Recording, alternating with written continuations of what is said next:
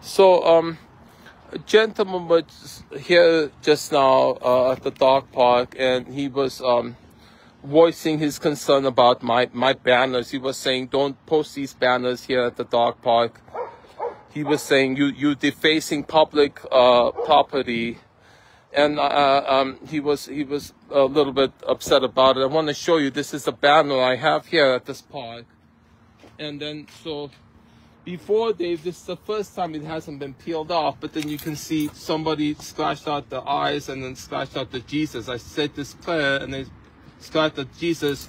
So, um, uh, there's bias against me because I'm Middle Eastern. I understand because, you know, uh, hostage crisis when I was a kid, I remember 9-11. A lot of people hate foreigners. A lot of people hate, um, uh, uh, Middle Eastern, uh, and then uh, mm, uh, everything about that. Uh, I understand the biases.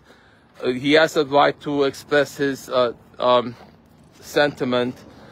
Um, I feel a lot of people think that you deserve what you got because of you you're not complying to the um, uh, uh, Puritan, you know, a man should be married to one woman. Why did you let a prostitute into your house?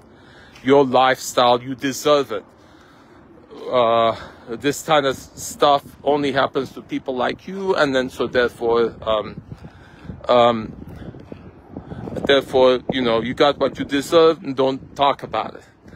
I know. So I just said it. I was gonna post something that write your um, concerned about why you don't like this. I know the reasons they don't like it. So,